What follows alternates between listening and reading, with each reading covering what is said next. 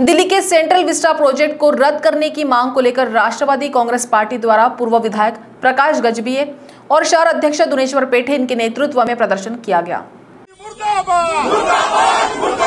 अमित शाह मुर्दाबाद। राष्ट्रवादी काँग्रेस केंद्र सरकार मुर्दाबाद।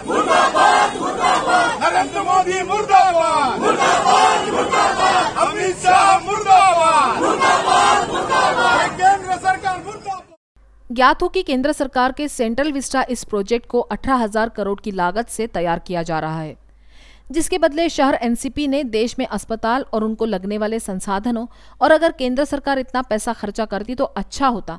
इस मांग को लेकर शहर राष्ट्रवादी कांग्रेस द्वारा नागपुर में प्रदर्शन कर जोरदार नारेबाजी की।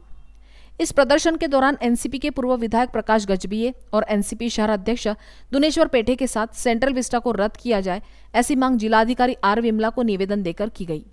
निश्चितच आता कोरोनाचा संकट देशावरती सुरू आहे. आणि अनेक लाखो लोक त्यामध्ये मृत्युमुखी पडले. जगामध्ये हाहाकार सुरू आहे, भारतामध्ये हाहाकार सुरू असताना.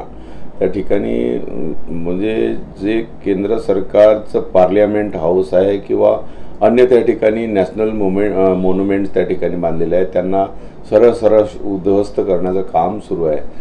एक दिवशी ते पार्लमेंटसुद्धा ते उद्ध्वस्त करायला मागे पुढे पाहणार नाही. अठरा हजार करोड रुपयाचं ते सेंट्रल विस्टा बिल्डिंग बांधण्यात येणार आहे. त्याच्याऐवजी या देशामध्ये म्हणजे एम्स सारखे हॉस्पिटल पाहिजे.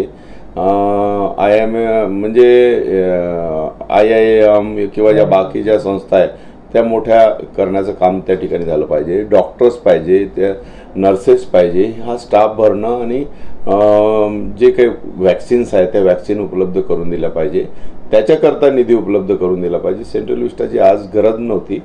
मला कधीतरी बांधता आलं असतं परंतु आता कोरोनाच्या काळामधून आपण निघाल्यानंतर त्याचा विचार करायला पाहिजे होता. आज आपल्याला प्रत्येक माणसाचा जीव वाचवणं गरजेचं आहे. त्याच्याकरते